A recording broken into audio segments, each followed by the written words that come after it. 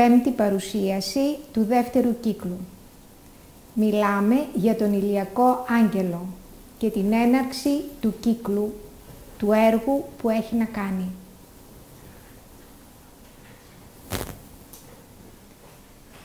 Οι ηλιακοί άγγελοι είναι κορυφαίες αυτοσυνείδητες οντότητες.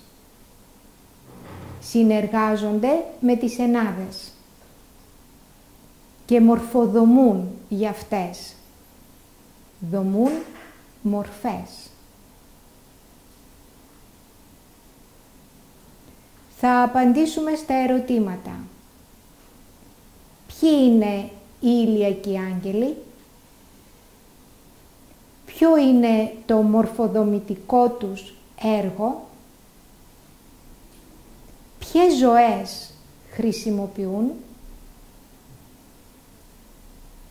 ποιους ήχους χρησιμοποιούν,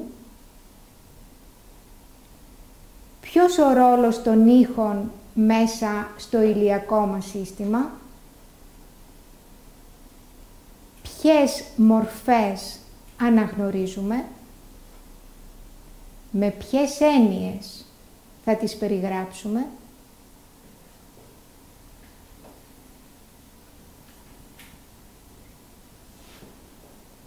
Οι ηλιακοί άγγελοι είναι μεγάλα ντέβας. Είναι νοημοσύνη. Έχουν περάσει από το ανθρώπινο στάδιο. Διαθέτουν τις αντίστοιχες ιδιότητες που αφορούν τον άνθρωπο, καθώς έχουν παράγει έργο, έχουν παράγει επιτεύξεις.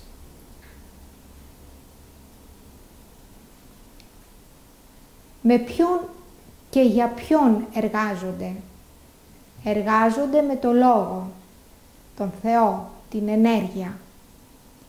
Ξεκινούν τη διαδικασία του έργου από τα εναδικά πεδία και στη συνέχεια στα απανταχού εναδικά υποπεδία όλων των πεδίων.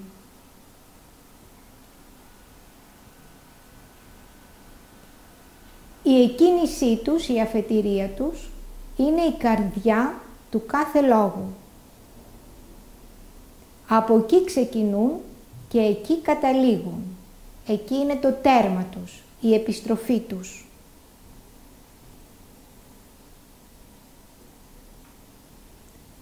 Έχουν συνείδηση ενάδας, εναδική συνείδηση και συνείδηση πνευματικής τριάδας. Δηλαδή, διαθέτουν συνείδηση εναδική, ατμική, βουδική, μανασική.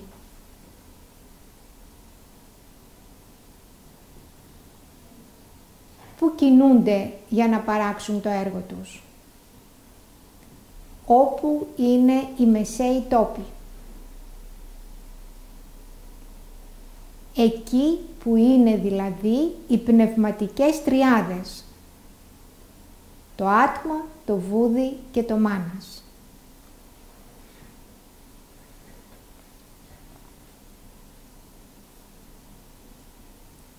Οι ηλιακοί άγγελοι έχουν διανύσει πολλά φλεγόμενα εδάφη. Την έννοια αυτή την αναλύσαμε στο προηγούμενο μάθημα. Δηλαδή, οι ηλιακοί άγγελοι έχουν διαλυθεί και συντεθεί άπειρες φορές. Κατερχόμενοι υπηρεσιακά από τα ανώτερα πεδία μέσα στα κατώτερα και ανελισσόμενοι εξελικτικά στη συνέχεια από τα κατώτερα πεδία όπου έχουν βρεθεί ξανά πίσω στα ανώτερα.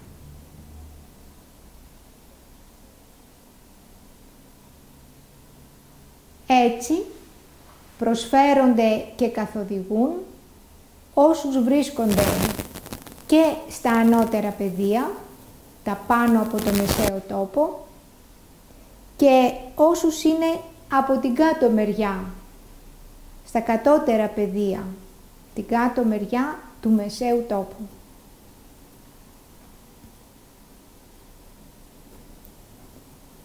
Έτσι γνωρίζουν πώς να βοηθήσουν αυτούς που τώρα περνούν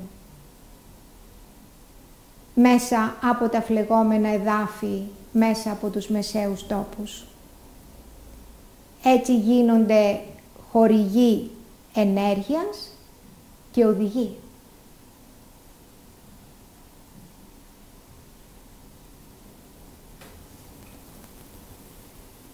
Στην πλανητική φύση θα δούμε μέσα στα τσάκρα που είναι τα βασίλεια στο σώμα του Σανάτ Κουμάρα να έχουν πολλούς ρόλους και να βοηθούν τα δίπολα του υπερανθρώπινου πέμπτου βασιλείου με το ανθρώπινο τέταρτο βασίλειο και το δίπολο του ανθρώπινου τέταρτου βασιλείου με το ζωικό τρίτο βασίλειο.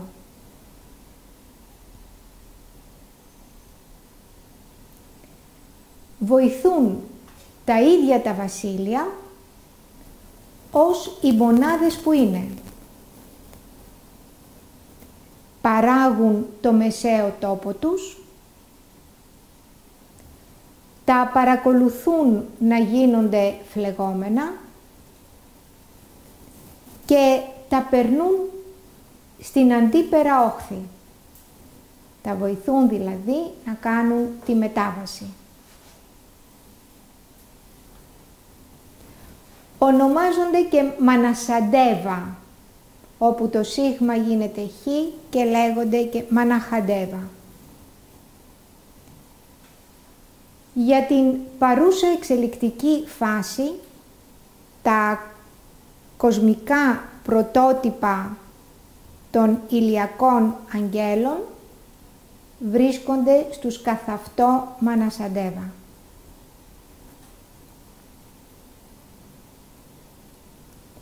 Οι ηλιακοί άγγελοι ενεργοποιούνται από το κοσμικό νοητικό πεδίο.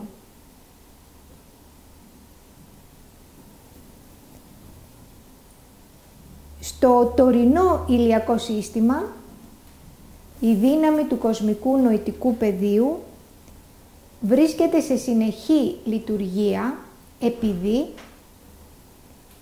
η ατομικοποίηση για τον ηλιακό λόγο έχει προπολού επιτευχθεί και έχει κατοχυρωθεί. Όταν λέμε ατομικοποίηση εννοούμε το ότι έχει πετύχει ο ηλιακός λόγος χωριστή αυτοσυνείδηση. Έχει διακρίνει τον εαυτό του, έχει αντίληψη του εαυτού του, έχει συνείδηση του εαυτού του. Πώς το πέτυχε, όπως όλοι όσοι αποκτούν αυτοσυνείδηση, δηλαδή μέσα από τη διέγερση του νοητικού σπινθήρα και την ανάπτυξή του.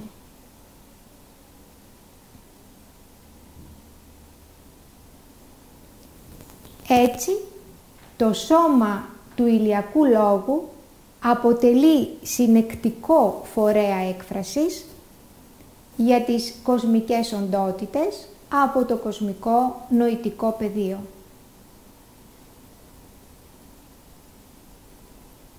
Βλέπουμε στο σχήμα πώς η ενέργεια κατέρχεται από το κοσμικό νοητικό μέσα στο σώμα του ηλιακού λόγου.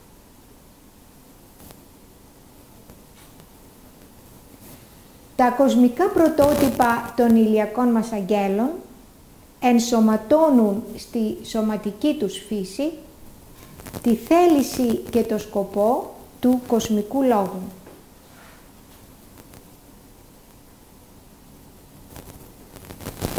Στο νοητικό υποπεδίο του κοσμικού φυσικού του ηλιακού μας συστήματος, που είναι και νοητικό πεδίο των ανθρώπων που είμαστε,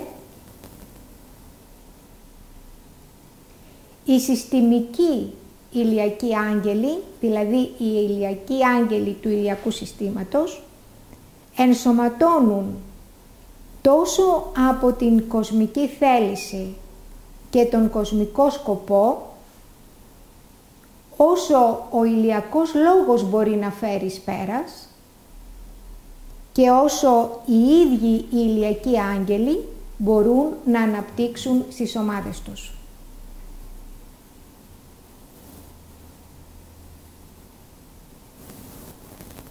Ο ηλιακός άγγελος είναι η μεσαία αρχή.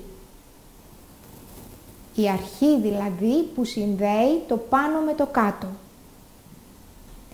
Είναι η δεύτερη όψη της ενάδας, η οποία μεσολαβεί. Σε τι, στο να δράσει η πρώτη όψη της ενάδας πάνω στην τρίτη όψη της ενάδας. Έχουμε πρώτη, δεύτερη, τρίτη όψη, θέληση, αγάπη, νοημοσύνη. Η θέληση επί της νοημοσύνης χρειάζεται τη μεσολάβηση της δεύτερης όψης. Εξού και η παρουσία και το έργο των ηλιακών αγγέλων.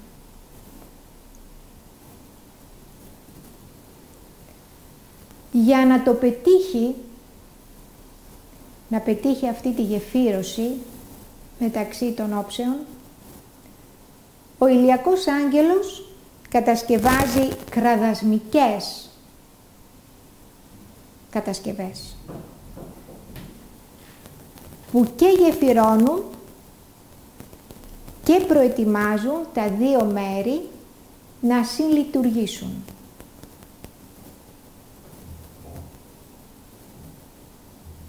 Εμείς, όπως και όλοι οι άνθρωποι στις πλανητικές διατάξεις, τα τσάκρα δηλαδή του ηλιακού μας λόγου, μέσα από τους ηλιακούς μας αγγέλους καθοδηγούμαστε.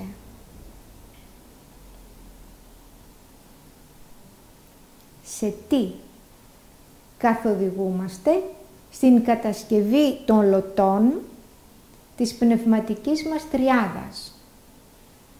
Οι λωτοί κατασκευάζονται από εγωικές ομάδες, δηλαδή από ομάδες ψυχών.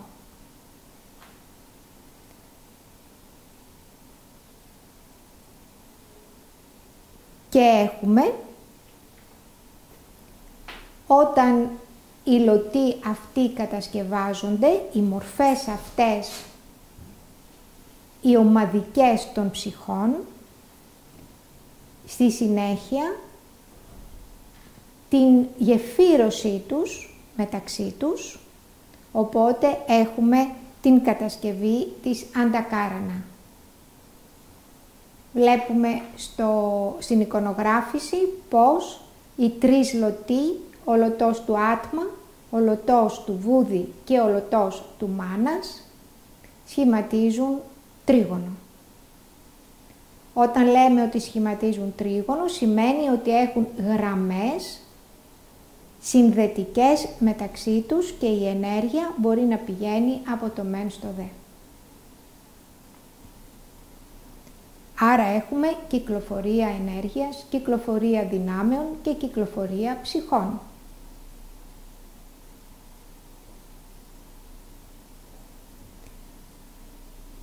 Βοηθούν οι ηλιακοί άγγελοι και στην κατασκευή της γέφυρας, της αντακάρανα, της πνευματικής μας τριαδικότητας, άτμα βούδι μάνας, το κίτρινο εδώ τρίγωνο, με την τριαδικότητα της προσωπικότητάς μας, δηλαδή με το νοητικό, το αστρικό και το φυσικό. Οι γραμμές που βλέπουμε σύνδεσης μας βοηθούν να δούμε ότι το άτμα συνδέεται με το νοητικό το μάνας με το φυσικό και το βούδι με το αστρικό. Σημαίνει ότι μεταφέρεται εκεί ενέργεια. Άρα ζωοποιείται, ενεργοποιείται και του παρέχει την ενέργεια για την μετουσίωση και την εξέλιξή του.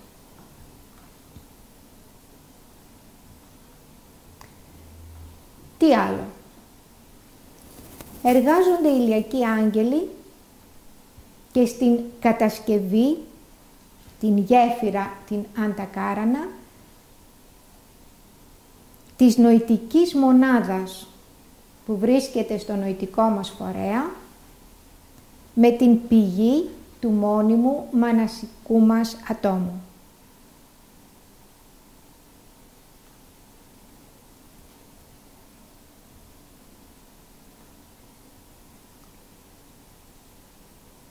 Η αστρική πυκνή και φυσική πυκνή μας ύλη τροφοδοτείται με τη βοήθεια των ηλιακών αγγέλων που παράγουν τις γεφυρώσεις από το εναδικό υποπεδίο του νοητικού πεδίου μας, δηλαδή του μανασικού πεδίου. Βλέπουμε στο σχήμα τα επτά υποπεδία του κοσμικού φυσικού πεδίου και πώς το εναδικό έρχεται από το μανασικό, δηλαδή από το δεύτερο υποπεδίο, υπό-υποπεδίο του μανασικού υποπεδίου, θα έρθει στα αστρικά και φυσικά υπο-υποπεδία.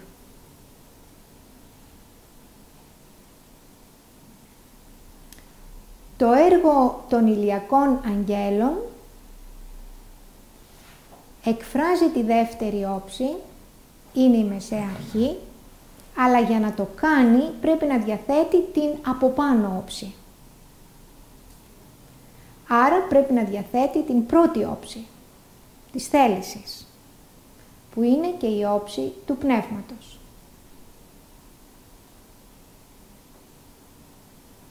Όλα γίνονται υπέρ του πνεύματος. Η δόμηση των μορφών είναι για την κατοικία του πνεύματος. Το έργο μέσα στις μορφές είναι για την κυριαρχία του πνεύματος. Η αποδόμηση των μορφών, στη συνέχεια, είναι για να απελευθερωθεί το πνεύμα, το οποίο ήρθε και κατοίκησε και εργάστηκε μέσα από τις μορφές.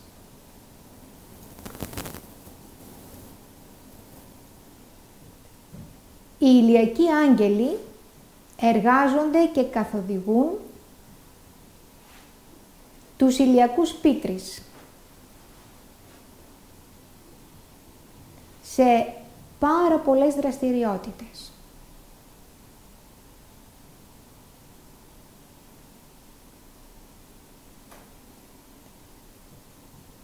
Να υπενθυμίσουμε ότι οι ηλιακοί πίτρεις οι ηλιακοί πατέρες διαφοροποιούνται από τους ελληνιακούς πίτρεις, τους ελληνιακούς πατέρες. Γιατί δεν έχουν τον ίδιο τύπο ουσίας. Επομένως, η μορφή που παράγεται από την ουσία των ηλιακών πίτρης είναι πολύ πιο λεπτοφυής και ανώτερης κραδασμικότητας από την μορφή που έχει ουσία σε ελληνιακή.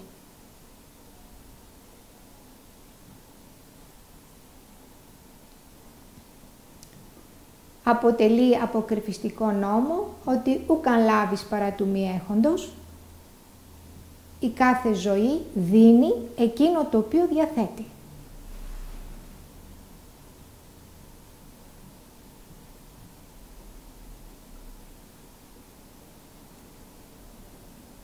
Γιατί το λέμε αυτό, γιατί για να εργαστείς δίνοντας συνείδηση, πρέπει ο ίδιος να έχεις συνείδηση. Το επίπεδο της συνείδησής σου πρέπει να είναι ανώτερο από εκείνο το οποίο δίνεις. Για να μπορέσεις να έχεις την καθολική εικόνα των εξελικτικών φάσεων καθώς και των παραγόντων που συμβαίνουν κάθε φορά στις διάφορες φάσεις. Για να αποκτήσουμε συνείδηση, περνάμε μεγάλους κύκλους κτίσης.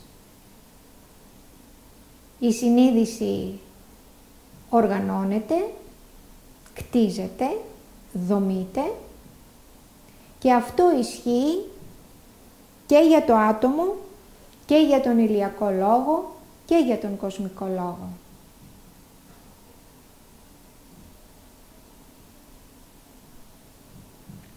Συνεπώς, οι ηλιακοί πίτρεις, με τους οποίους εργάζεται ο ηλιακός άγγελος, μπορούν να δώσουν στον άνθρωπο τη συνείδησή του, γιατί την κατέχουν οι ίδιοι.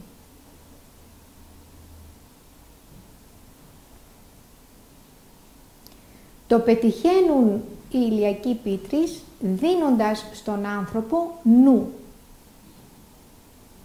και δημιουργώντας το σώμα της ατομικής του ψυχής, τον ανώτερο εαυτό του, που είναι ο εγωικός λωτός στα μανασικά υποπεδία.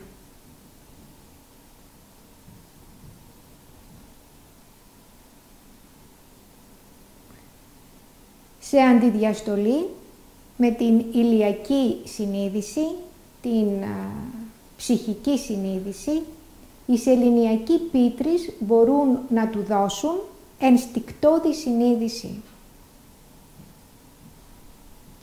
Είναι η ενστικτόδη συνείδηση των φορέων του ανθρώπου.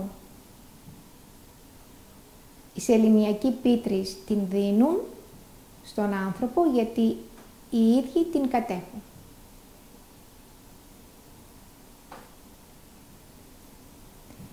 Στον ηλιακό λόγο και σε όλα τα βασίλεια της φύσης όλων των πλανητικών λόγων, οι σεληνιακοί πίτρεις προσφέρουν τη μορφική συνείδηση των αντίστοιχων σωμάτων του λόγου.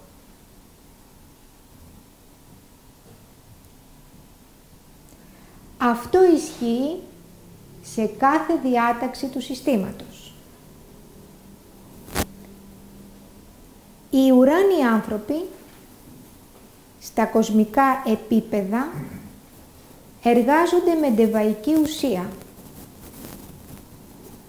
και συνεργάζονται με τους ντέβα κατά το μεγαλύτερο μέρος συνειδητά.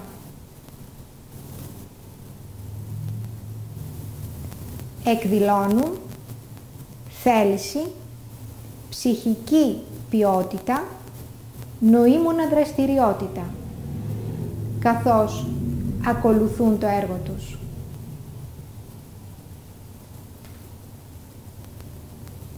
Επίσης οι άνθρωποι εργάζονται με ντεβαϊκή ουσία και συνεργάζονται με τους ντεβα. Επίσης οι άνθρωποι μπορούν να εκδηλώσουν θέληση, ψυχική ποιότητα και νοήμωνα δραστηριότητα, καθώς ακολουθούν το δικό τους έργο. Η διαφορά έγκυται στο βαθμό και στη συνείδηση. Ποιος είναι ο βαθμός θέλησης, ποιος είναι ο βαθμός ψυχικής κατάστασης και νοήμονος δραστηριότητας. Συνήθως ο άνθρωπος εργάζεται ασυνείδητα. Η σεληνιακή πίτρης είναι σωματική ουσία των τεσσάρων κατώτερων περιελήξεων των μόνιμων ατόμων της προσωπικότητας. Δηλαδή, μόνιμο νοητικό άτομο, μόνιμο αστρικό άτομο και μόνιμο φυσικό άτομο. Πώς να ανταποκριθούν στις δυνάμεις που ρέουν από τον ηλιακό άγγελο μέσα από τον ψυχικό λωτό. Είναι ο άνθρωπος, ο λωτός, ο ηλιακός άγγελος.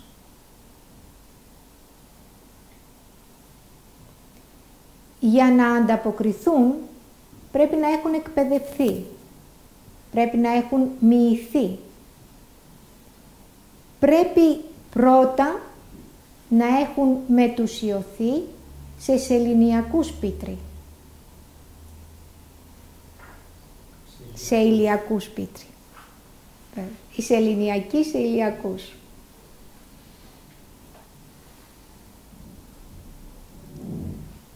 Η ηλιακή πίτρις είναι εκείνη η ένσοφη νοήμων ουσία η οποία ανταποκρίνεται στις επτά ποιότητες σοφίας των επτά ουράνιων ανθρώπων που είναι κουμάρα.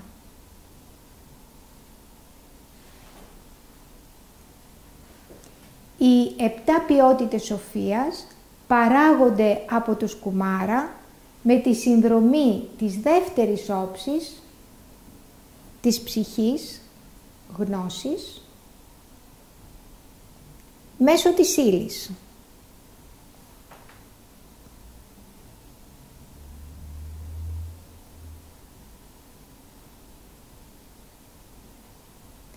Η κουμάρα είναι κοσμικές οντότητες που συνεργάζονται με τις πλανητικές διατάξεις του ηλιακού συστήματος.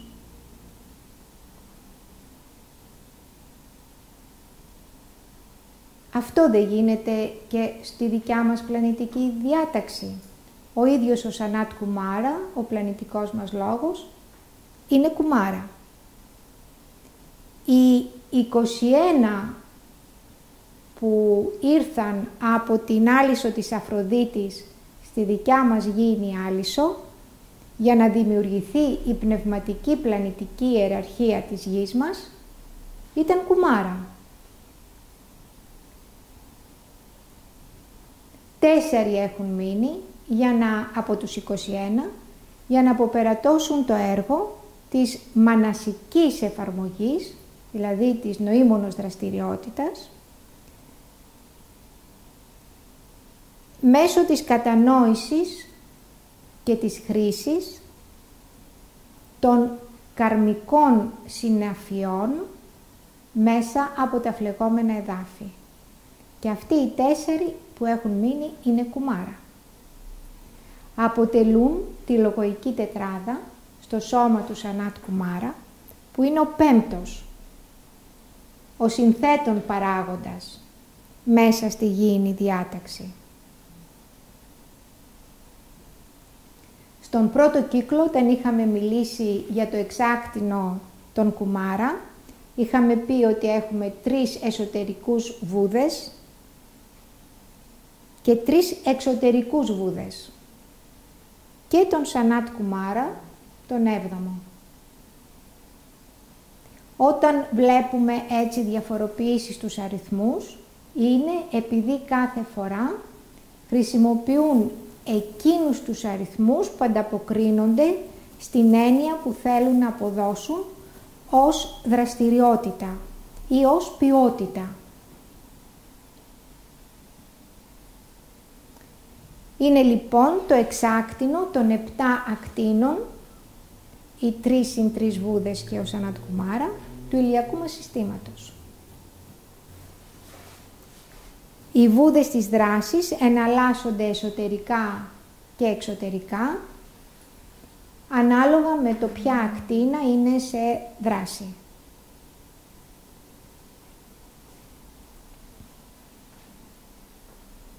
Οι κουμάρα διαθέτουν δεύτερη και τρίτη όψη και προσδοκούν μέσω μίσεων να αποκτήσουν την πρώτη όψη. Οι ηλιακοί άγγελοι, είπαμε, διαθέτουν την πρώτη όψη.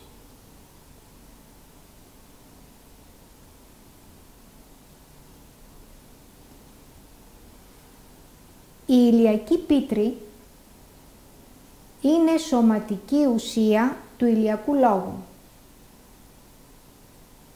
Αποτελούν την ηλιακή εθερική του ουσία και την ηλιακή πυκνή του ουσία.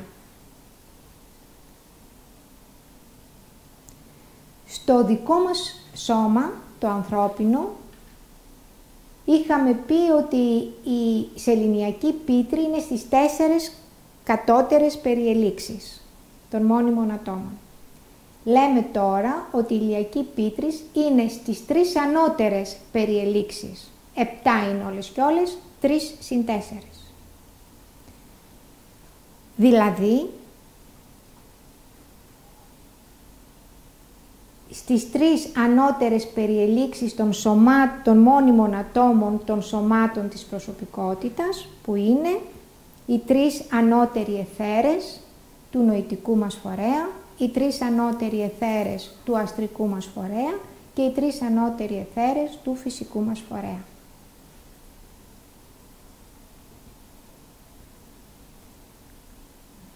Θέτουμε το ερώτημα. Μπορεί να είναι, αλλά μπορεί και να μην είναι; Γιατί λέμε μπορεί να είναι. Ναι, μπορεί να μην είναι. Μπορεί να μην είναι αν δεν ανταποκρίνονται στο νόμο της σύνθεσης. Αν δεν ανταποκρίνονται στους 21 ήχους της όψης Μανασαντέβα, δηλαδή των ηλιακών αγγέλων του ηλιακού μας συστήματος. Η όψη αυτή είναι θέληση για ύπαρξη.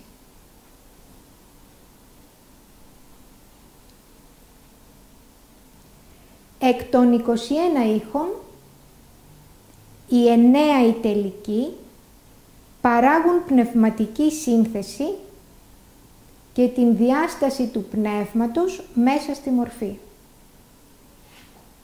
Την διάσταση του πνεύματος από τη μορφή μέσα στην οποία βρισκόταν. Δηλαδή διαχωρίζεται το πνεύμα από τη μορφή.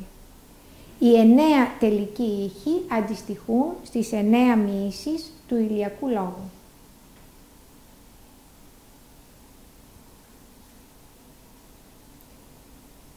Το δικό μας σωματικό περιεχόμενο, ας θέσουμε το ερώτημα, σε ποιους ήχους ανταποκρίνεται;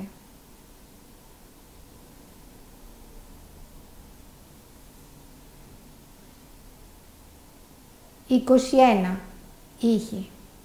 Μείον 9 οι τελικοί για τους οποίους μιλήσαμε, 12 είναι οι προηγούμενοι. Είναι οι ήχοι των 5 συν 7 δημιουργικών ιεραρχιών. Αυτή οι 12 ήχοι. Των οποίων δημιουργικών ιεραρχιών προσπαθούμε να συλλάβουμε την ύπαρξή τους και το έργο τους.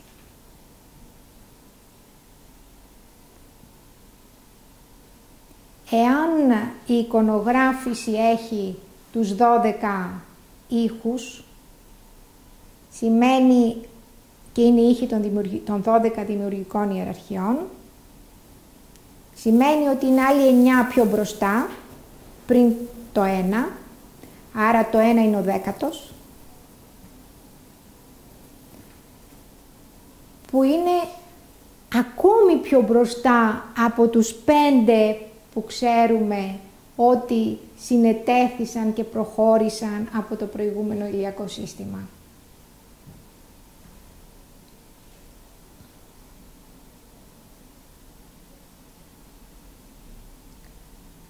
Έχουμε πάλι τις, τους ήχους των 12 δημιουργικών ιεραρχιών του τωρινού ηλιακού συστήματος και είναι οι πέντε που παρήλθαν γιατί ολοκληρώθηκαν στο προηγούμενο ηλιακό σύστημα και οι 7 που είναι η βασική στην τωρινή επτάδα του νυν ηλιακού μας συστήματος που είναι δεύτερης και τρίτης όψης.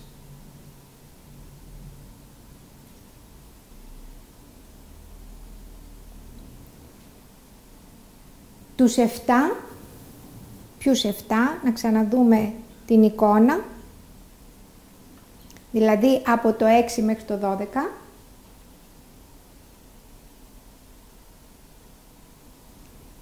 θα τους χωρίσουμε σε 3 συν 4. Δηλαδή, σας ξαναδείχνω, είναι οι 5, οι 3 και οι 4.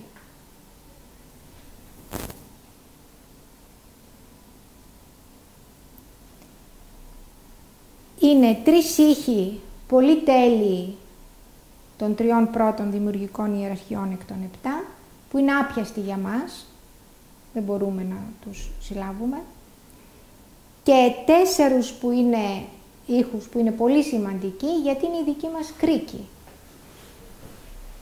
Είναι μέσα στον άνθρωπο που είμαστε. Άρα ανταποκρινόμαστε σε αυτούς. Αλλή μας αν δεν ανταποκρινόμαστε. Δεν θα μπορούμε να έχουμε εξέλιξη, δεν θα μπορούμε να έχουμε δημιουργικότητα, συνείδηση, λειτουργία. Οι ήχοι λοιπόν στους οποίους πρέπει να ανταποκρινόμαστε είναι οι ήχοι της ανθρώπινης τέταρτης δημιουργικής ιεραρχίας, της δεβαϊκής πέμπτης δημιουργικής ιεραρχίας που είναι διπλή, ε, το έχουμε δει ήδη, είναι οι δύο κρίκοι, ο κρίκος που ενώνεται με την τέταρτη και ο κρίκος που ενώνεται με τις από κάτω ιεραρχίες, ή ο, ο ήχος της έκτης δημιουργικής ιεραρχίας που επίσης είναι διπλή και ο ήχος της έβδομης δημιουργικής ιεραρχίας που επίσης είναι διπλή και δεβαϊκές όλες, εκτός από την τέταρτη.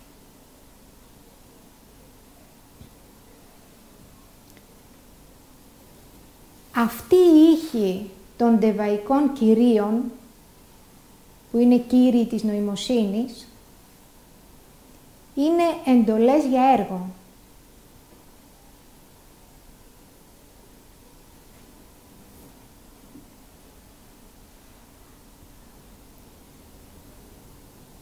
Ποιοι εργάζονται υπό τους ήχους αυτούς. Αυτοί που ανταποκρίνονται, δηλαδή οι ηλιακοί πίτρεις οι πατέρες, οι ηλιακοί πατέρες της μορφής των ουράνιων ανθρώπων των πλανητικών διατάξεων. Δηλαδή, οι ηλιακοί πίτρεις υπό τους ήχους αυτούς παράγουν τις μορφές των βασιλείων της φύσης στις πλανητικές διατάξεις.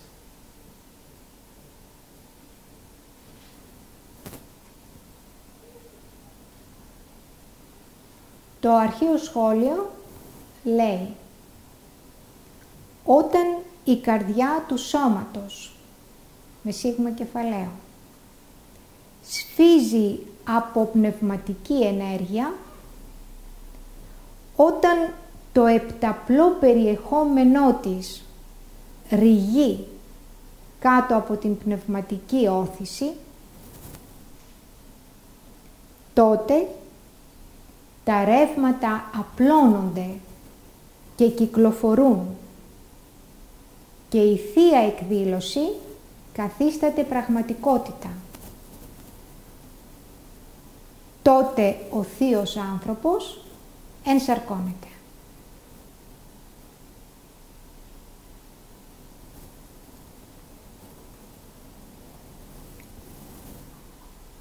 Οι ηλιακοί άγγελοι διαθέτουν την κοσμική, πνευματική, υποκειμενική δύναμη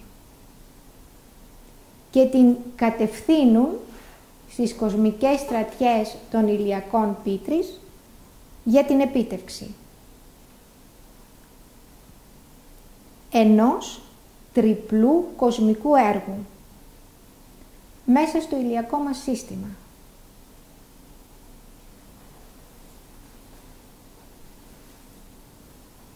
Ας το δούμε. Τριπλό έργο.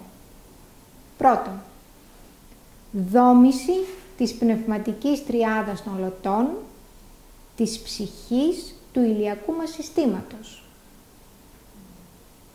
Δεύτερον, εκφώνηση των μάντραμ, των ενσαρκώσεων της ψυχής του ηλιακού μας συστήματος.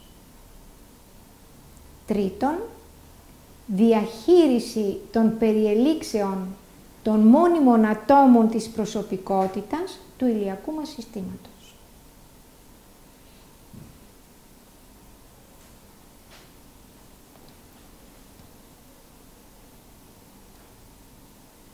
Αυτό που λέμε αφορά τους μεγάλους ηλιακούς αγγέλους που είναι οι κοσμικοί ηλιακοί άγγελοι.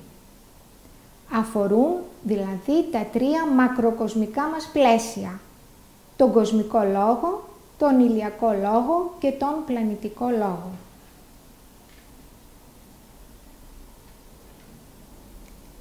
Ποιοι είναι άραγε οι ηλιακοί άγγελοι που άμεσα μας αφορούν ως πνευματικό τέταρτο βασίλειο της φύσης και ως ο μικρό κοσμός που είμαστε γιατί τον εμπεριέχουμε,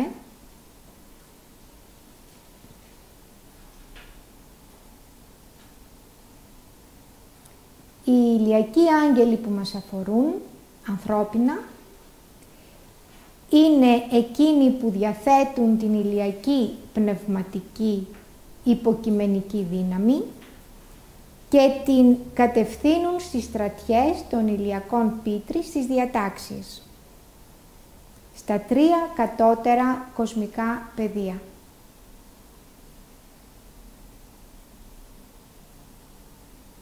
Δηλαδή, στην προσωπικότητα του κοσμικού λόγου, μέσα στην οποία εξ ολοκλήρου κινούμαστε. Η προσωπικότητα του κοσμικού λόγου περιλαμβάνει το κοσμικό νοητικό πεδίο με τον αντίστοιχο φορέα, το κοσμικό αστρικό πεδίο με τον αντίστοιχο φορέα και το κοσμικό φυσικό πεδίο με τον αντίστοιχο φορέα.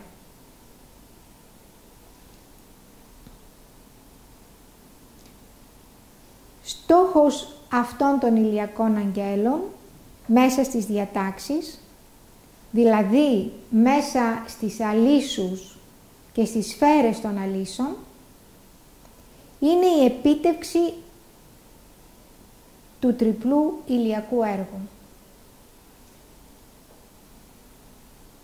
Πρώτον, δόμηση της πνευματικής τριάδας των λωτών της υπερψυχής, Δεύτερον, εκφώνηση των μάντραμ των ενσαρκώσεων της υπερψυχής.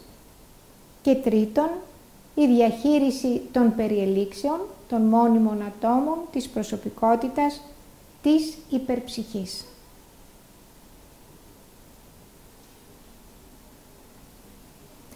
Ας δούμε ποια είναι η δική μας υπερψυχή είναι οι τρεις εσωτερικοί πνευματικοί κρίκοι που διαθέτουμε.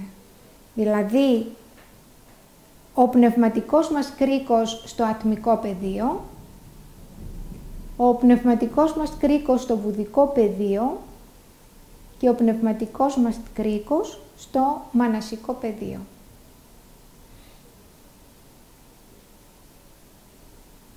Όπως βλέπουμε από το σχήμα,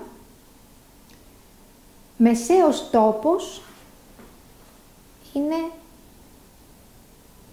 το βούδι. Ο πνευματικός μας κρίκος στο βουδικό πεδίο.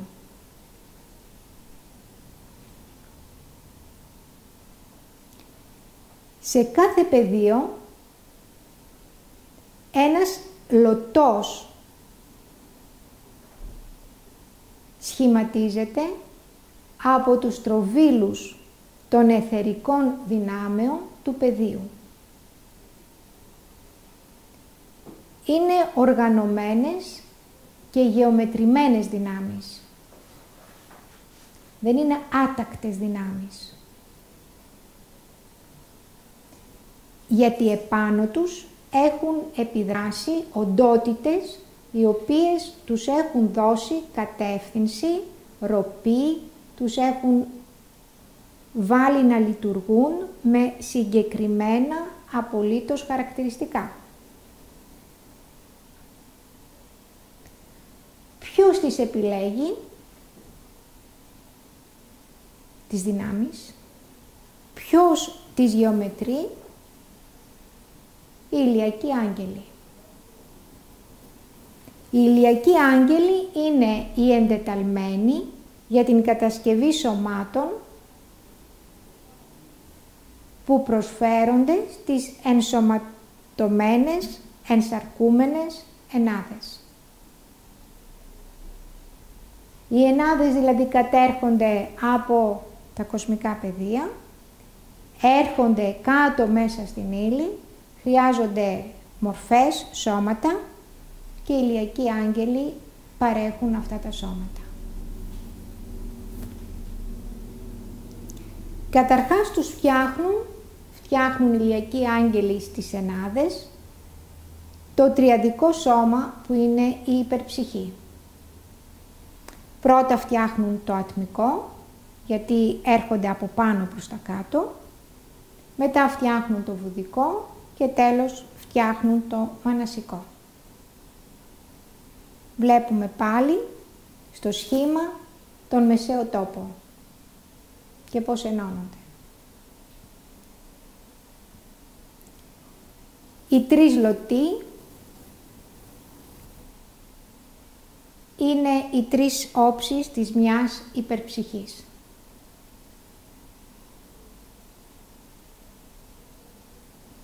Η ατμική όψη είναι η πρώτη όψη της ενάδας, είναι η θέληση που εφαρμόζεται με σοφία και εκεί που ο πόνος δεν υπάρχει. Γιατί ακριβώς όπου υπάρχει σοφία η εφαρμογή είναι ορθή. Η δεύτερη όψη της ενάδας, η βουδική όψη, είναι η αγάπη που παράγει ομαδοποιήσεις και συσσωματώσεις και μέσω αυτών παράγονται μορφές δεύτερης και τρίτης όψης. Και είναι και η τρίτη όψη της ενάδας, η μανασική, είναι η νοημοσύνη η οποία έχει ατελή εφαρμογή και άρα παράγει πόνο.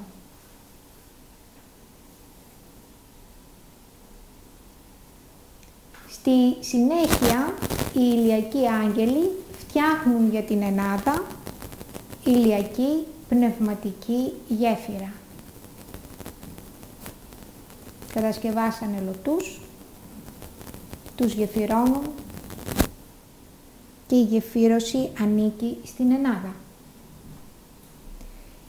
Γεφυρώνουν από την μανασική όψη της Ενάδας, την τρίτη δηλαδή όψη, όπως αυτή η όψη εκφράζεται μέσα από την μανασική ατομική μας ψυχή,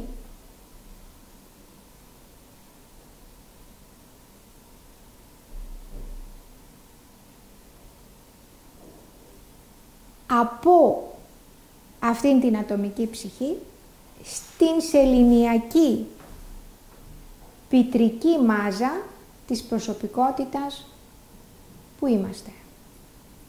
Εμείς οι άνθρωποι του τέταρτου βασιλείου της πλανητικής φύσης. Η προσωπικότητά μας αυτή παρουσιάζεται με το ατομικό τρίγωνο των μόνιμων ατόμων της προσωπικότητάς μας που έχουμε πει ότι είναι το νοητικό μόνιμο άτομο, το αστρικό μόνιμο άτομο και το φυσικό μόνιμο άτομο.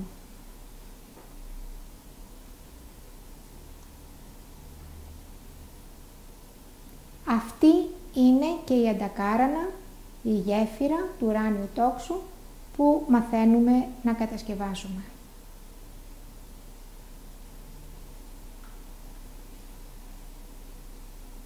Ολόκληρη η ανθρωπότητα συμμετέχει σε αυτή την κατασκευή. Με όλο το περιεχόμενό της.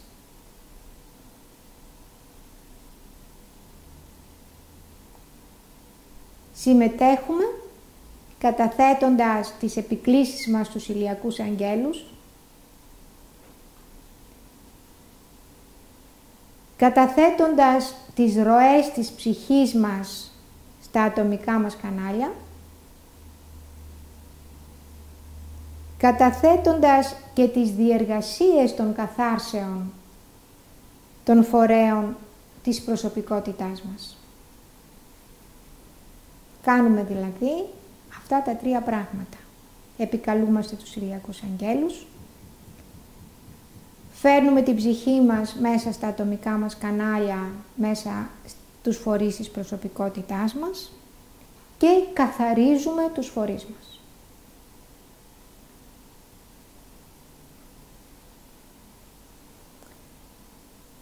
Στη δική μας ανθρώπινη μικροσκοπική ύπαρξη, η ηλιακή πίτρης είναι η σωματική δομή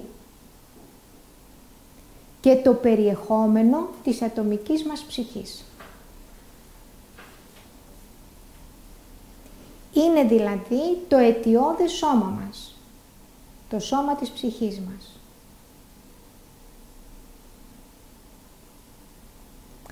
Είναι αυτό που χτίζεται σαν γέφυρα μεταξύ της πνευματικής μας τριάδας του Άτμα Βούδη Μάνας και της νοητικής μας μονάδας από τα αντίστοιχα υποπεδία του νοητικού πεδίου. Εδώ λοιπόν το γαλάζιο τρίγωνο μας παρουσιάζει την πνευματική μας τριάδα και το κίτρινο τρίγωνο με τον κύκλο στη μέση που εκφράζει την νοητική μονάδα του νοητικού πεδίου δίνει τις αντιστοιχίσεις μεταξύ των πεδίων στο γαλάζιο με τα υποπεδία του νοητικού πεδίου στο κίτρινο.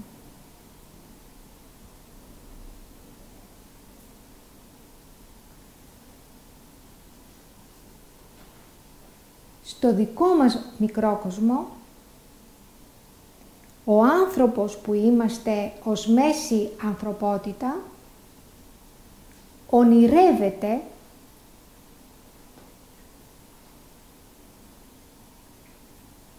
την ψυχή εκεί ψηλά και αγωνίζεται από την νοητική της μονάδα γιατί μιλάμε για μέση ανθρωπότητα, άρα έχει νοητική μονάδα, τις τέσσερις κατώτερες περιελήξεις του νοητικού μόνιμου ατόμου και ανατείνει προς τα άνω, έχει έφεση,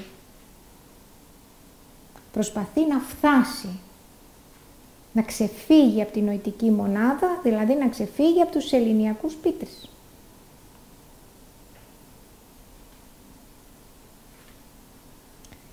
Η διανοητική ανθρωπότητα αγωνίζεται από το επίπεδο της νοητικής της μονάδας, που φυσικά διαθέτει, αφού διαθέτει η μέση και η διανοητική είναι παραπάνω εξελικτικά, αλλά αυτή τη φορά δεν ονειρεύεται απλά, έχει τη δυνατότητα να αντλήσει δύναμη και έμπνευση. Από τις τρεις ανώτερες περιελήξεις όπου στοιχεία αυτών των ηλιακών πίτρης δομούν το σώμα της ψυχής στα μανασικά εθερικά υποπεδία.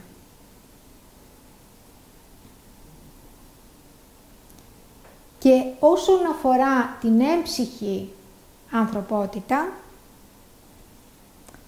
αυτή πλήρως διαθέτει το σώμα της ψυχής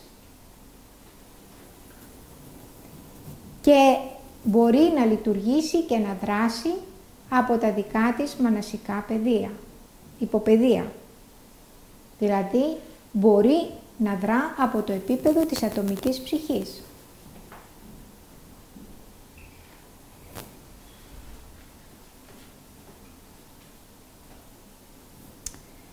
Θα δούμε τώρα τις τρεις δραστηριότητες δόμησης που οι ηλιακοί άγγελοι εγκαινιάζουν και ολοκληρώνουν για τους κύκλους των ενσαρκώσεων των ενάδων στο σώμα κάθε λόγου.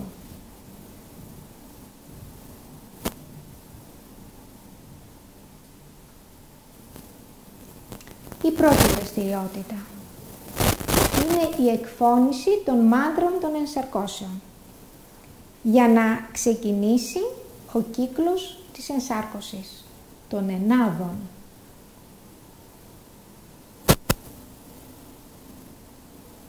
Όχι μόνο ανοίγουν τον κύκλο των ενσαρκώσεων, αλλά και συντονίζουν τον κύκλο αυτό.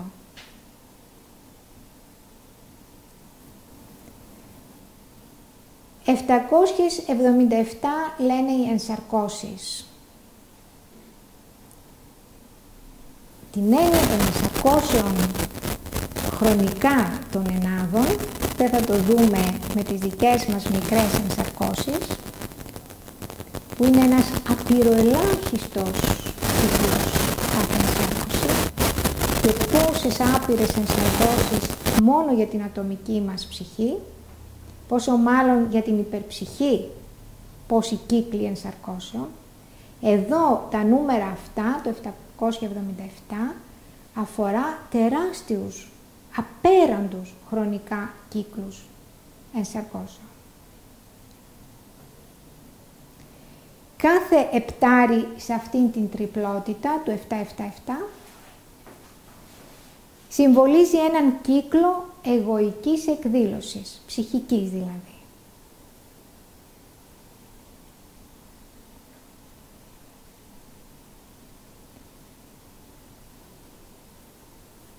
Ένας ιδιαίτερος ήχος θα επιτρέψει στο εγώ, στην ψυχή δηλαδή, να εκφράσει κάποια υποακτίνα της εγωικής ψυχικής ακτίνας. Δηλαδή, υπά... χαρακτηρίζεται η ενάδα που έρχεται μέσα από κύκλους ψυχής να εκφραστεί από κάποια ακτίνα. Ε, αυτή η ακτίνα θα πρέπει και τις επτά υποακτίνες της να εκφράσει.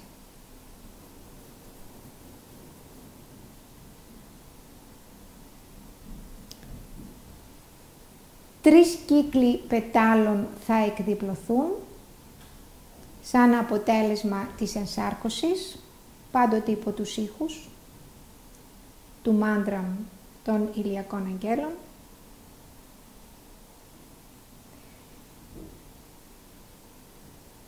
Θα υπάρξει ανταπόκριση από τους Μανασαντέβα που ανήκουν στην ομάδα που φτιάχνουν τον, το αιτιώδες σώμα του εγώ που ενέχεται, της ψυχής που ενέχεται,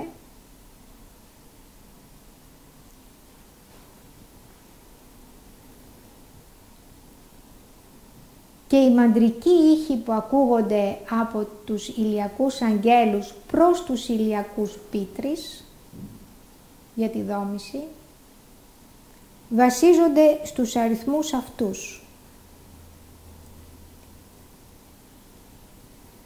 Δεν έχουν πάντα την ίδια ένταση, το ίδιο βάθος και το ίδιο πλήθος περιεχομένων ήχων. Καθώς υπάρχει εξέλιξη, έχουμε αύξηση της έντασης, αύξηση του βάθους, αύξηση του πλήθους των περιεχομένων ήχων.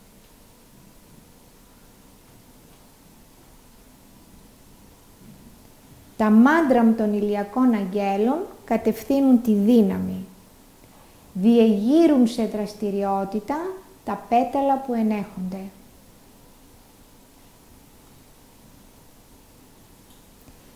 Οι σεληνιακοί πίτρεις αποκτούν επίγνωση του έργου που πρέπει να γίνει για να προετοιμαστεί η κάθε ενσάρκωση.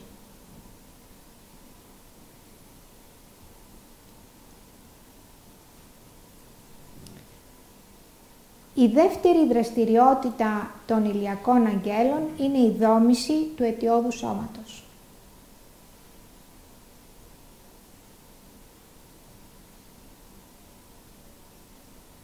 Με την πρώτη δραστηριότητα κάλεσαν τις ζωές εκφωνώντας μάντρα και τους υπέδειξαν το έργο που πρέπει να γίνει. Τους το μετέφεραν μέσω των μάντρα, μέσω των ήχων. Τώρα θα ξεκινήσουν τη δόμηση αυτού που τους εισήγαγαν ως σχέδιο.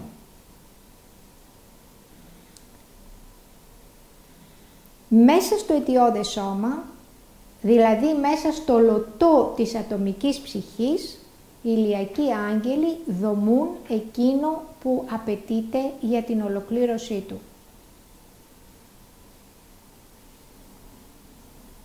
Στα αρχικά στάδια το έργο αυτό είναι συγκριτικά μικρό.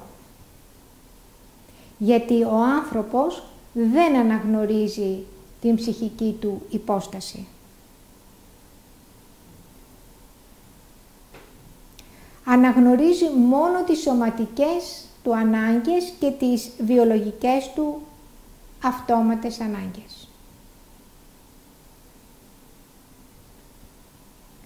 Οι άλλες διαστάσεις υπάρχουν μόνο εν δυνάμει. Και φυσικά η έννοια της προσωπικότητας δεν υπάρχει γιατί τα σώματα που απαρτίζουν την προσωπικότητα δεν έχουν ολοκληρωθεί και δεν έχουν συναρμολογηθεί. Δεν έχουν αποκτήσει το ένα αντίληψη του άλλου, πόσο μάλλον συσχέτιση.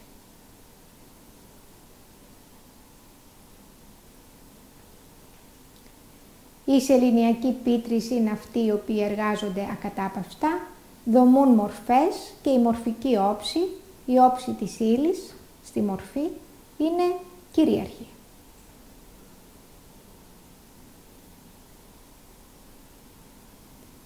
Τι κάνουν οι ηλιακοί πίτρεις, όσο οι σεληνιακοί είναι κυρίαρχοι, περιμένουν. Δεν ήρθε η ώρα τους γιατί δεν υπάρχουν αυτιά για να τους δουν και μάτια για να τους ακούσουν. Καθώς ξέρουμε ότι τα ντέβας βλέπουν και ακούν με τον αντίθετο τρόπο που το εκφράζουμε εμείς ως άνθρωποι. Όταν το τρίτο στάδιο της ανάπτυξης προσεγγίζεται, τότε ο άνθρωπος επιδεικνύει χαρακτήρα. Δεν υπάρχει πριν η έννοια του χαρακτήρα. Η προσωπικότητά του έχει δομηθεί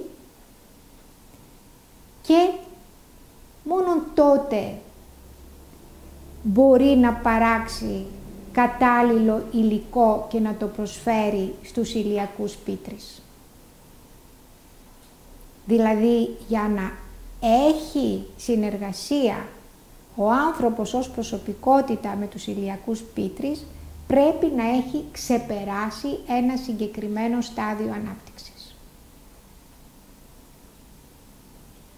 Έτσι, το έργο τους συνεχώς αυξάνει και είναι πλήρως απασχολημένοι στην τελειοποίηση του εγωικού σώματος.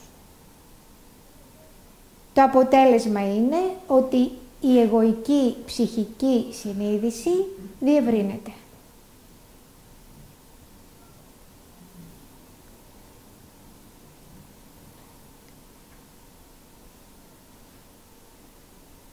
Το, ο κατώτερος εαυτός μας, η προσωπικότητά μας δηλαδή, παρέχει το υλικό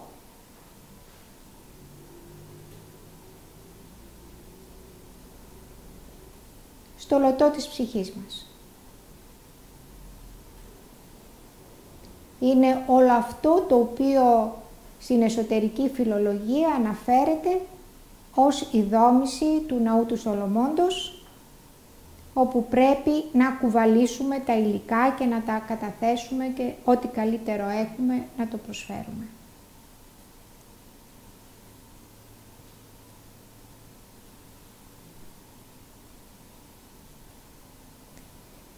Είναι λοιπόν αυτό που ονομάζουμε στο λατομείο. Οι λαξευμένες πέτρες για το ναό όχι ακατέργαστες, γιατί αν είναι ακατέργαστες δεν υπάρχει χαρακτήρας, δεν υπάρχει προσωπικότητα κτλ. Άρα δεν υπάρχει συσχέτιση με τον ναό, δεν υπάρχει συσχέτιση με την ψυχή. Τι φτιάχνουν λοιπόν το σώμα της ατομικής ψυχής; Από κάτω προς τα πάνω.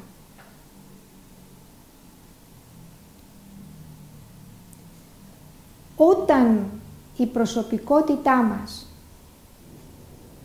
αποβεί ραδιενεργός, δηλαδή ακτινοβολή από τον πυρήνα της,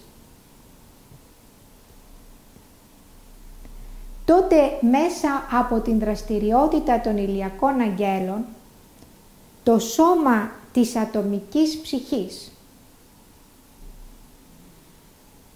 το βλέπετε εδώ με το λωτό, και το ατομικό τρίγωνο των μόνιμων ατόμων που τις αναλογούν, το βλέπετε εδώ μέσω του τριγώνου, έλκουν και απορροφούν τις ραδιενεργές ακτινοβολίες της προσωπικότητας.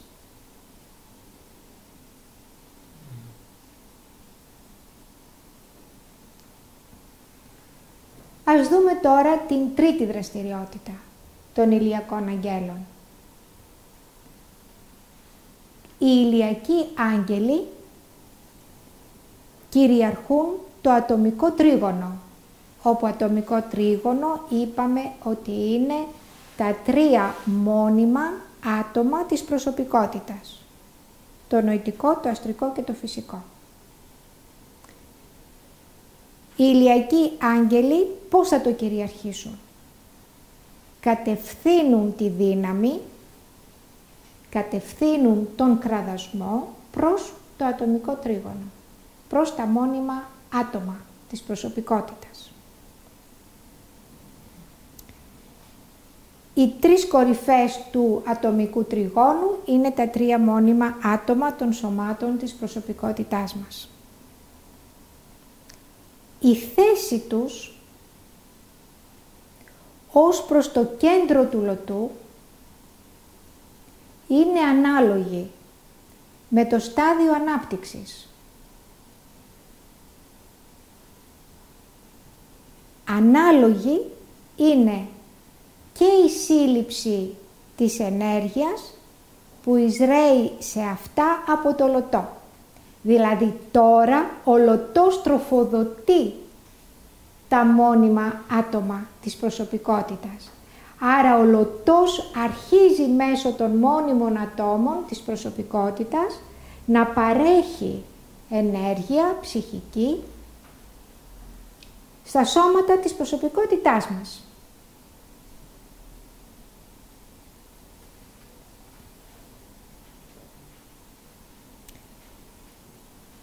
Εμείς τώρα ζούμε τον τέταρτο γύρο,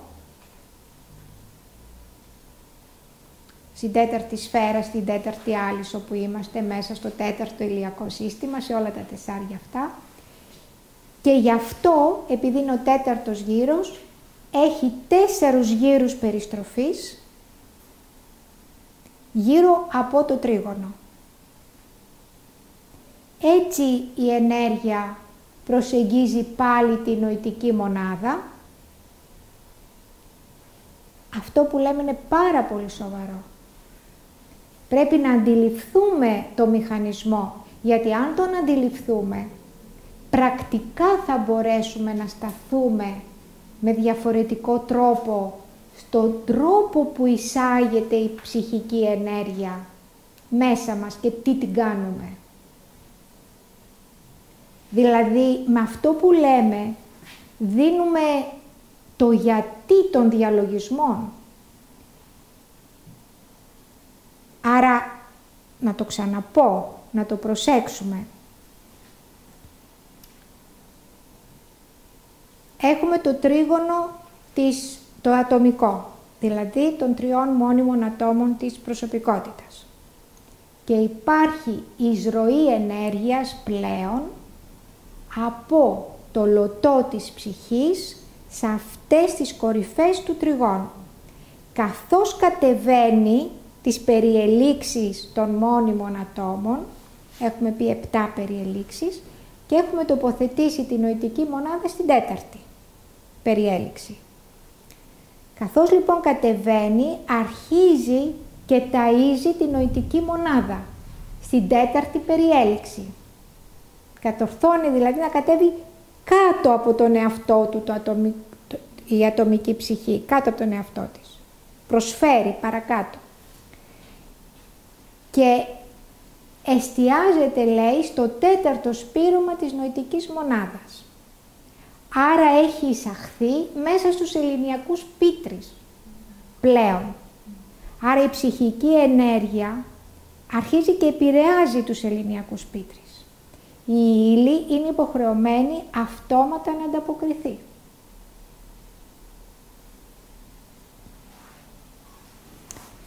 Μέχρι πρότινος η ενέργεια δεν ερχόταν από την ψυχή κάτω. Η ανατείνουσα προσωπικότητα προσπαθούσε ό,τι καλύτερο έχει να το προσφέρει.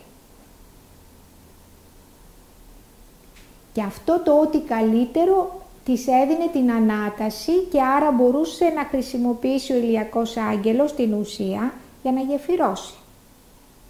Άπαξ και μπόρεσε να γεφυρώσει, αντιστρέφονται οι ρόλοι και αρχίζει και δίνει ψυχή στην προσωπικότητα.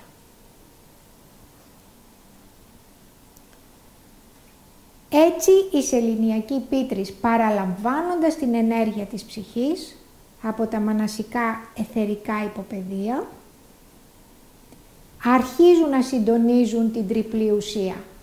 Συντονισμό δηλαδή των φορέων της προσωπικότητας δεν έχουμε μέχρι τώρα. Τώρα θα ξεκινήσει. Όταν το τέταρτο σπήρωμα της νοητικής μονάδας έχει υποστεί την κρούση και έχει παραλάβει την ενέργεια της ψυχής.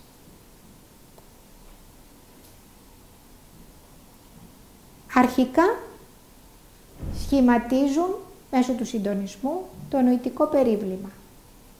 Βλέπουμε την κίτρινη σφαίρα. Μετά σχηματίζουν το αστρικό σώμα. Βλέπουμε τη γαλάζια σφαίρα. Και τελικά σχηματίζουν το εθερικό σώμα. Βλέπουμε την άσπρη σφαίρα. Όπου δεν την έχουμε πυκνή, διότι αφορά το εθερικό του φυσικού. Εντάξει. Αλλιώς θα έπρεπε να έχουμε πάλι μία πυκνή όπως επάνω. Στο μέσο άνθρωπο,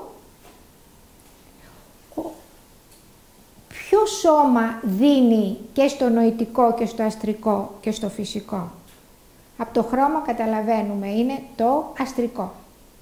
Το αστρικό λοιπόν χρωματίζει και τα τρία σώματα αστρικά. Σκεφτόμαστε αστρικά. Το σώμα μας, το φυσικό, υπόκειται σε, αστρική, ε, σε αστρικές ορέξεις και κινείται με αστρικό τρόπο. Το νοητικό μόνιμο άτομο, δηλαδή οι 7 περιελήξεις του νοητικού, βρίσκονται στη διαδικασία της οργάνωσης της νοητικής μονάδας, δηλαδή των τεσσάρων κατώτερων. Για να μπορέσει η νοητική μονάδα να αποκτήσει πρωταρχική θέση, που πριν την είχε το αστρικό και τα έκανε όλα αστρικά,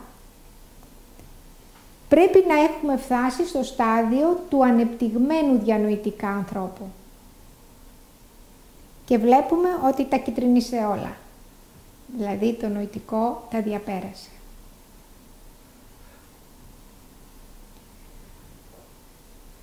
Για να μπορέσει η νοητική μονάδα, οι τέσσερες περιελήξεις,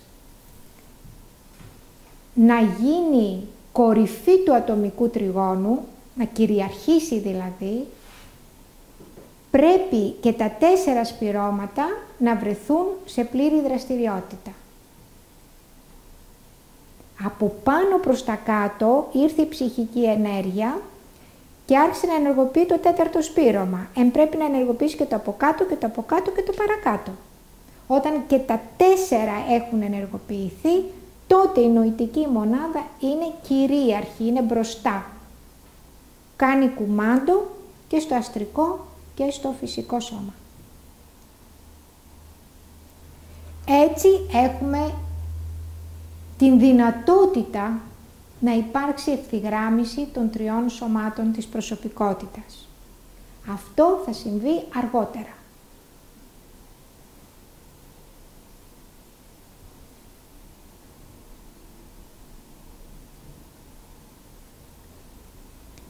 Στην τρίτη αυτή δραστηριότητα του ηλιακού αγγέλου, τα πέταλα της γνώσης του εγωικού λωτού εκδιπλώνονται.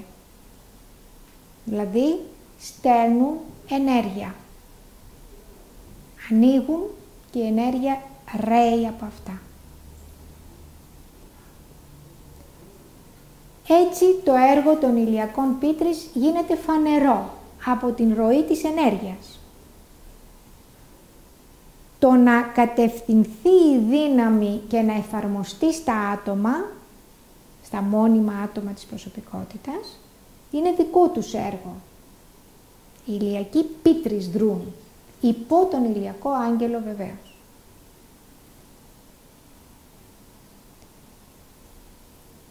Έτσι υπάρχει η δυνατότητα να έχουμε το συντονισμό της ηλεκτρομαγνητικής γέφυρας, της αντακάρανα. Δηλαδή, να συντονιστεί το τέταρτο, το πέμπτο και το έκτο σπήρωμα.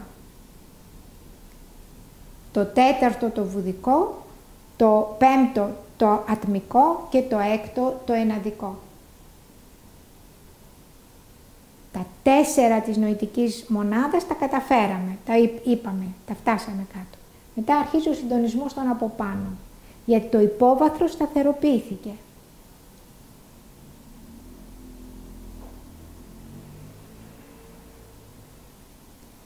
Καθώς η εξέλιξη προχωρά, τα πέταλα εκδιπλώνονται του λωτού και στο τρίγωνο των τριών μόνιμων ατόμων η δύναμη μέσω των πετάλων καθώς εκραίει φτάνει και στα τρία στις τρεις κορυφές του ατομικού τριγώνου και στα τρία μόνιμα άτομα ταυτόχρονα.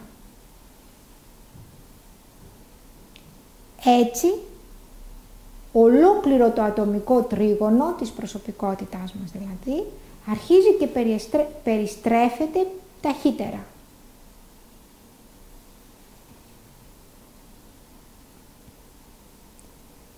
Έτσι, αρχίζει το έργο των ηλιακών πίτρης να γίνεται ολοένα και πιο περίπλοκο. Καθώς ενσωματώνουν την ενέργεια της ουσίας, όπως εκδηλώνεται σε ένα σύστημα, μία διάταξη και έναν ανθρώπινο κύκλο.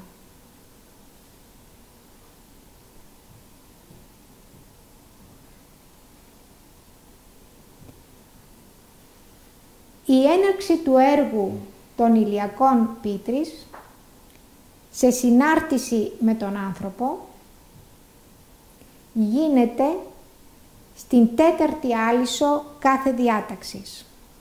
Βλέπουμε εδώ την διάταξη και τις 7 αλύσους. Οι αριθμοί επάνω είναι οι αριθμοί των αλύσεων. Οι 7 σφαίρες κάτω από κάθε αριθμό είναι οι σφαίρες το, της αλύσου. Η, στην τέταρτη άλυσο στο κίτρινο είναι η δικιά μας σφαίρα. Εδώ λοιπόν ξεκινάει το έργο των ηλιακών πίτρης. Και επίσης μπαίνουν σε δραστηριότητα οι πίτρες των περιβλημάτων του ανθρώπου. Γιατί, γιατί μπορούν και παραλαμβάνουν την όθηση, την κραδασμική, που έρχεται από τους ηλιακούς αγγέλους.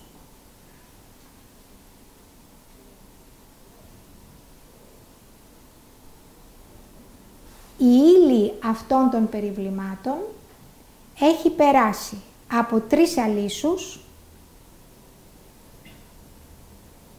και στην τέταρτη άλυσο με χρώμα κίτρινο έχει ήδη κάνει τρεις γύρους. Τρεις άλυση είναι το, το σάξ χρώμα και τρεις γύροι από την τέταρτη. Δονείται στον τρίτο φθόγκο που όταν ηχεί καθαρά, τότε έχει συγκεκριμένο κραδασμό και συντονισμό. Αυτός ο μανασικός τρίτος φθόγκος ακολουθείται από τον ατμικό πέμπτο δεσπόζοντα. Το ότι ο μανασικός είναι τρίτος και ο ατμικός είναι πέμπτος ισχύει επειδή η αρρύθμιση είναι ηλική, δηλαδή μετράμε από κάτω προς τα πάνω. Για κάποιον που ξέρει μουσική, αυτό μπορεί να το μεταφράσει κάλλιστα και να το καταλάβει μέσα από τον ήχο. Υπάρχει ο τρίτος, η τρίτη νότα και μετά η πέμπτη δεσπόζουσα. Η ταυτόχρονη ήχηση του τρίτου και του πέμπτου όταν βασίζεται πάνω στην στον πλανητικό βασικό τόνο, τότε παράγει το αποτέλεσμα μιας τριπλής συγχορδίας.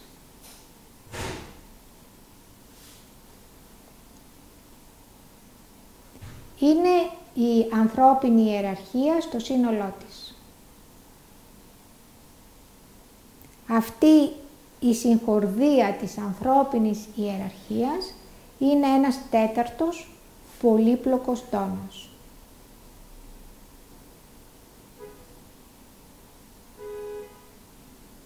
Η πολλαπλότητα αυτού του τέταρτου τόνου της ανθρώπινης ιεραρχίας βασίζεται στην ιεραρχική συγχορδία.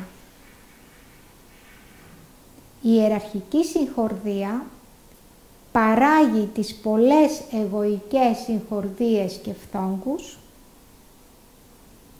και οι εγωικές συγχορδίες παράγουν με τη σειρά τους την αντικειμενική εκδήλωση.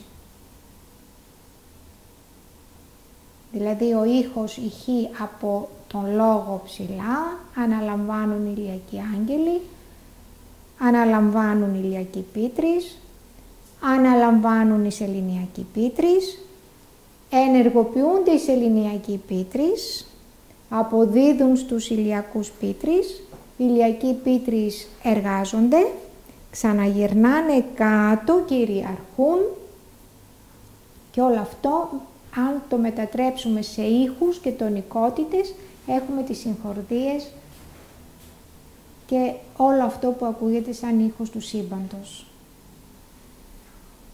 πλανητική ήχη, ήχη των βασιλείων της φύσης,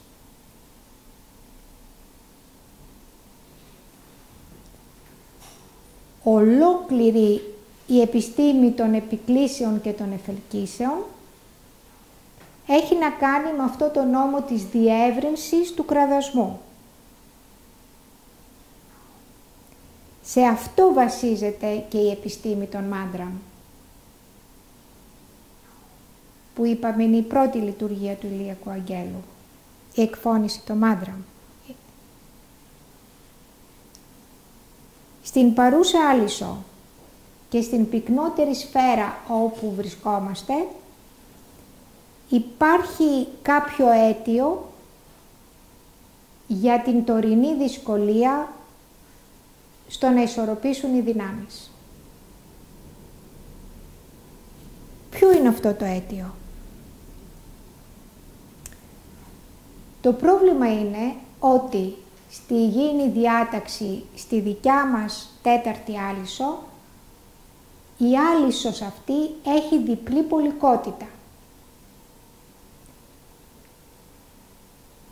Αυτό δεν συμβαίνει συχνά. Θεωρείται ιδιάζουσα κατάσταση. Πώς προέκυψε, θα δούμε. Προέκυψε επειδή η γήινη άλυσος απορρόφησε τα ρεύματα της ζωής από την σεληνιακή άλυσο.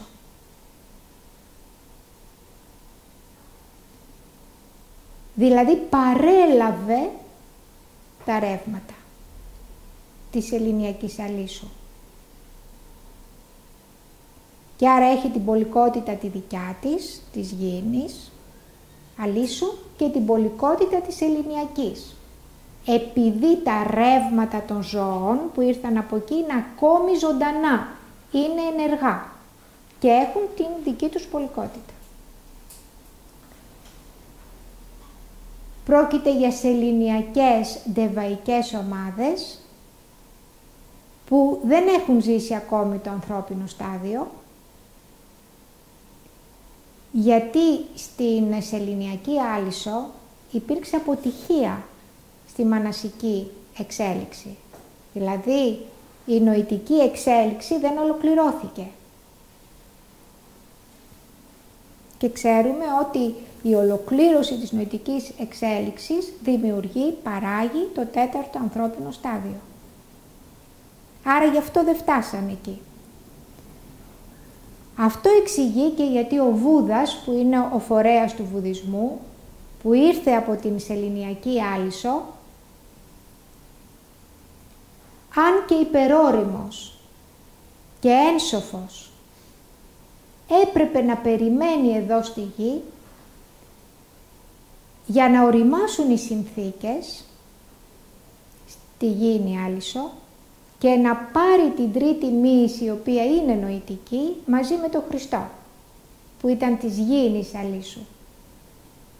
Γιατί στη Σεληνιακή Άλυσο από την οποία ήρθε δεν μπορούσε να την πάρει, οι συνθήκες δεν είχαν ολοκληρωθεί για να συμβεί αυτό. Όχι στον ίδιο, γιατί αυτός ήταν τέλειος, αλλά στις επαναλήψεις που έπρεπε να κάνει ως ενσάρκωση, ε, θα έπρεπε και οι συνθήκες να το επιτρέπουν.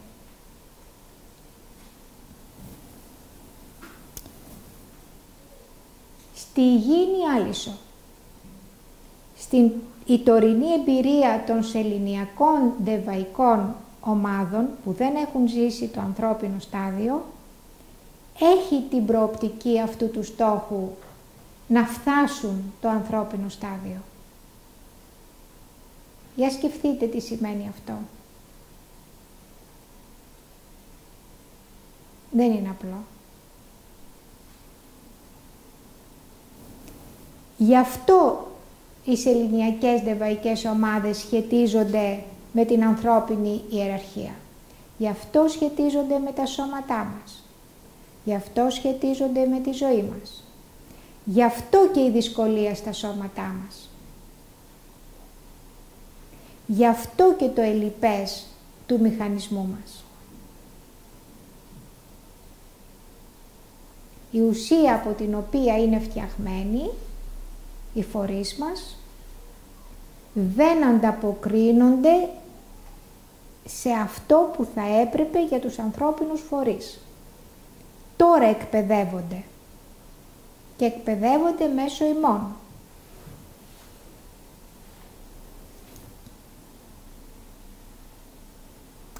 Γι' αυτό και ο αγώνας για να αποκτήσουμε συνείδηση των περιβλημάτων μας, των σωμάτων μας δηλαδή, είναι σκληρός.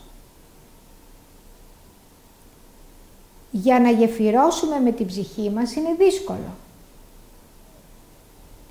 Για να πετύχουμε καθάρσεις των φορέων μας, δύσκολο. Για να μετουσιώσουμε τη σεληνιακή μας ύλη, δύσκολο αλλά εφικτό. Γιατί γι' αυτό είμαστε σε ενσάρκωση. Το έργο αυτό θα πρέπει να το φέρουμε εις πέρας.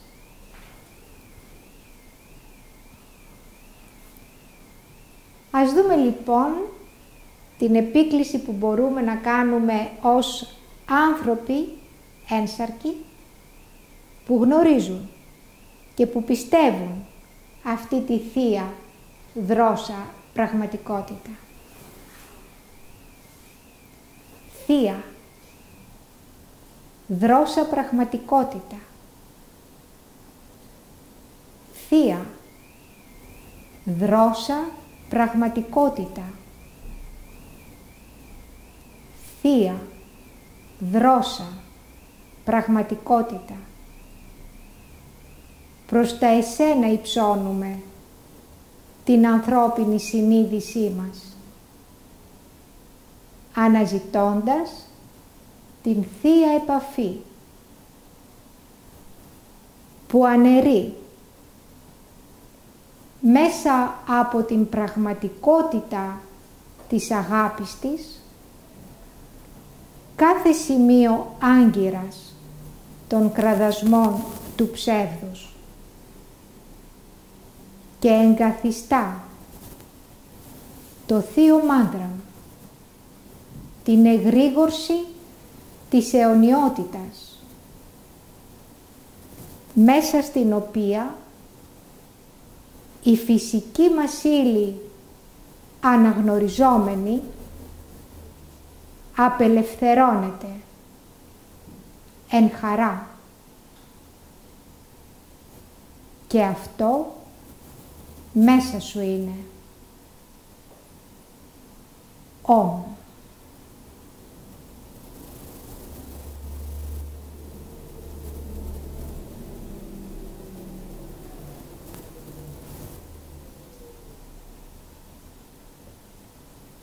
Στο επόμενο μάθημα θα δούμε τη λήξη του κύκλου της μορφικής δόμησης για τις ενάδες. Που ο ηλιακός άγγελος πάλι είναι αυτός ο οποίος το πραγματοποιεί.